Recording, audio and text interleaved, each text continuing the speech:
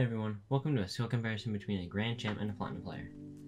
Um, the Grand Champ in this video, his name is Dominik, he has 2700 hours in the game. I, Chili, am the Plat 2 at 450 hours in the game at the time of this recording. We're going to be doing a 1v1 to see how much better the average Grand Champ is compared to a Plat player. Hope you enjoy the video. Uh, I'm just going to go ahead and introduce you. Uh, this is Dominik. He is a, he is a Grand Champ. How many hours do you have in this game? Um, probably a combined total of all accounts, 2,700. Which, considering it's Rocket League, not that much. Okay. Uh, I have, I think I just hit like 400 hours in the game. Uh, I'm Platinum. I think you can Um, already tell. yeah. Uh, well, the medium for hitting Grand Champ keeps lower and lowering each season. I mean, Grand Champ really, like, 1500 is just Champ 3 on a win streak. But, uh, other than that, about the medium is around 1800 am- hours to hit uh, Grand Champ. Okay. Alright, so this is just the Yeah. warm up game. We're gonna be doing 1v1s. Ah! Yeah, I- we're gonna be I doing that back- series of 1v1s and then maybe some more things. Oh shit.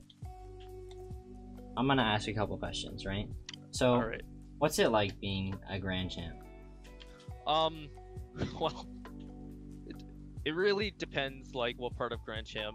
1500, th- there's really nothing to boast about. Me being a 1700, it's, um, it- it gets pretty tough. Like, the games start getting intense. The game, actually, in my opinion, is more fun, but the stress that goes into playing the game is so much higher to the point where it's just mentally exhausting at a point, having consistently play about six hours a day. And if you couldn't already tell, I'm pretty Canadian. About. About. Have you ever like played against any pros? Yes, I've probably played against most professionals. Oh, you Mainly play at the against of- Rizzo? Yeah, oh yeah, oh yeah, I played against Oh. Rizzo, JKnaps, Crow. But after he left G2. Dude, how are you so fast? That wasn't even like the fast kickoff, that was just.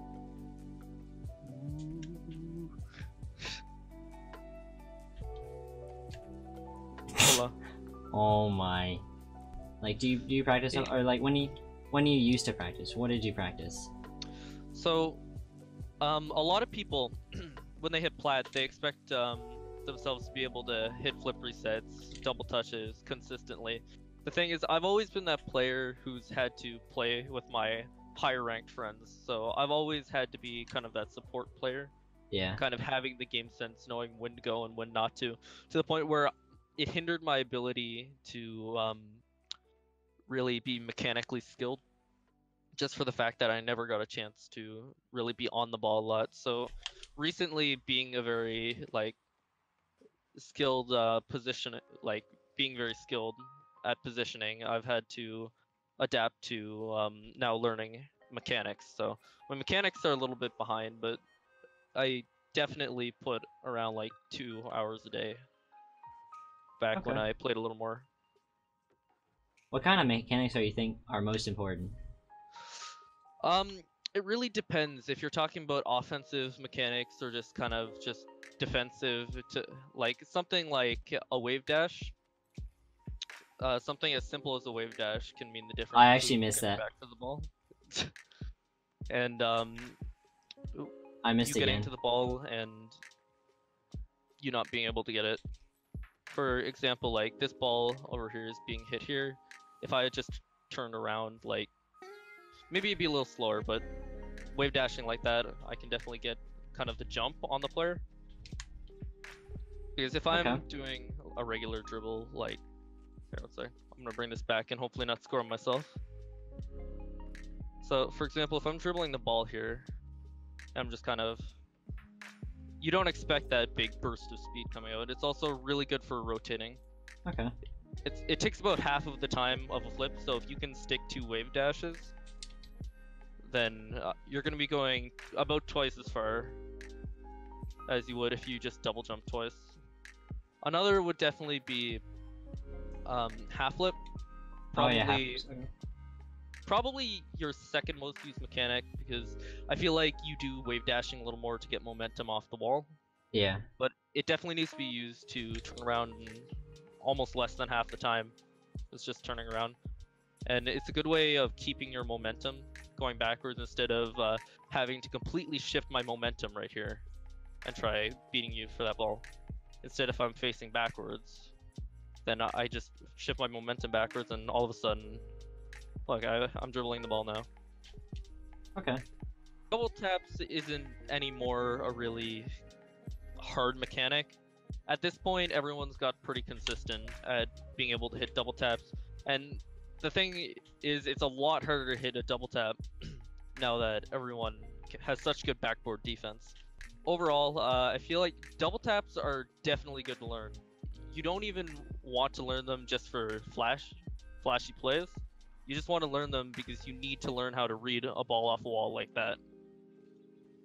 Be able to put it right back out where you can't get it. Overall, the defense has gotten a lot better. Yeah.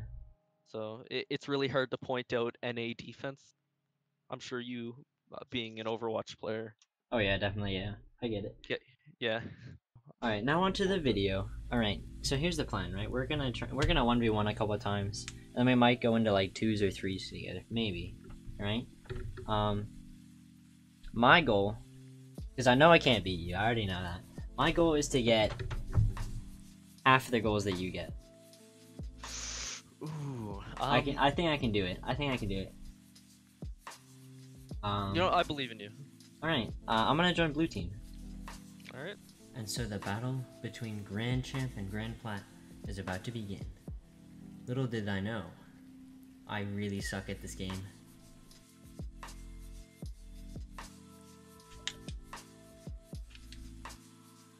That's good kickoff.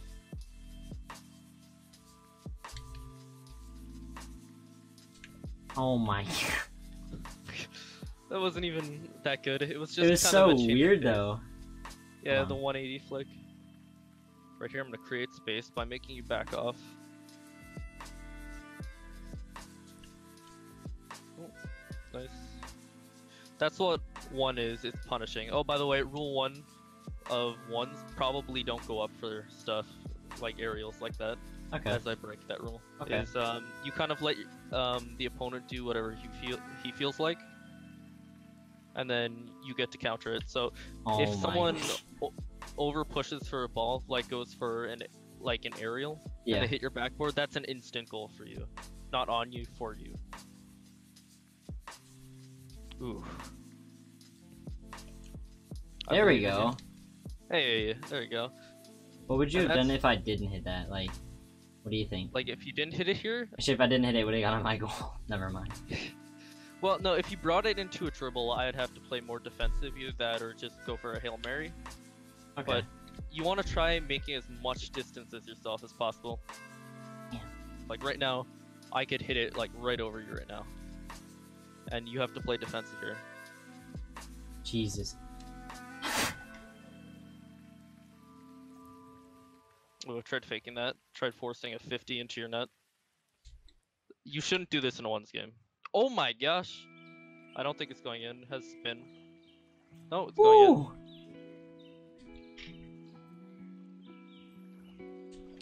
Want to bump you? Uh, Now, do you think that was a good? take control.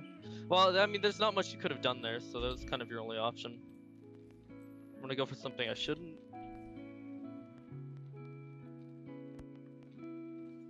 Oh my.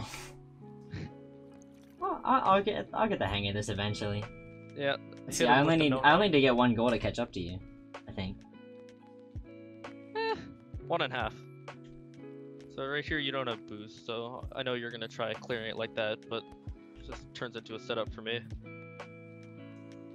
If we think of ones as a game of keep way, I'm like that really fast athletic kid. You're the less athletic kid. I'm the kid that gets picked like fourth. Yeah.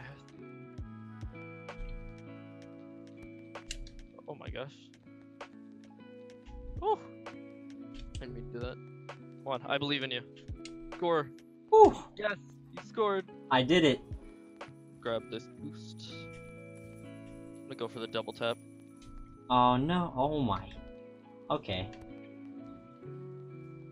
That's a good kickoff. See what I did there? Like, I didn't have the boost to uh, really catch it, so I just did a pre-flip. I'm gonna let you hit this. Oh. Oh. Okay. Well, um, I let you hit it. Actually, wait. Hold on. Let me. Let me. I bet I can. I think I can flick on you. I think I can do it. Okay. Well, and flicks, flicks are very situational. Like if I let you flick right now, I'm facing into you. Whenever someone's flicking, you always want to be shadowing against them. Wait. I used all my boost. Hold up. Yeah. So Okay. if I position myself like this and you start dribbling, it's a lot easier for me to try countering it. Hey, what happened? But I mean, in that case, like, that was just kind of stupid. it- it's very situational. yeah. Like okay. you'll never usually get a flick when someone's looking at you. Because that's the hardest thing to defend. Like right now, if you just go in your net right now,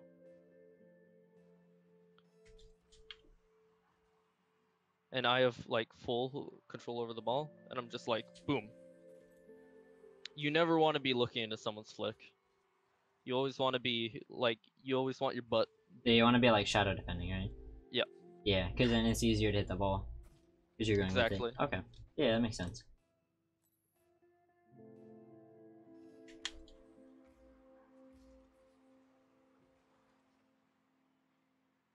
I wonder if I can. Yeet. Uh, Oh, okay. Oh, GG's. That was fun. That was fun. That's a goal on you. Yeah. Okay. Yeah, ones is pretty hard. My uh my mental um fortitude knows that. kinda I guess. Yeah.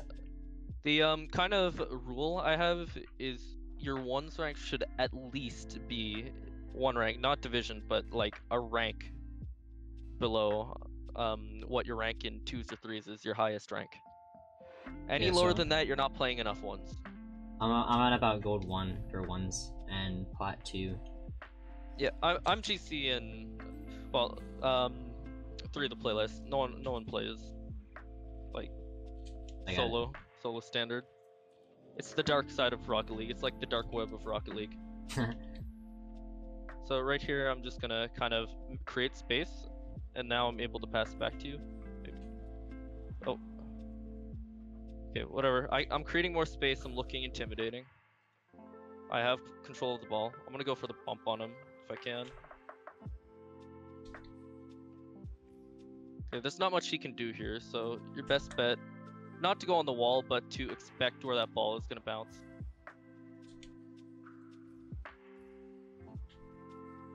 Sorry, I kind of cut there. Oh, no, Cheese just kind of situational ball chasing. And to be fair, that's every mode.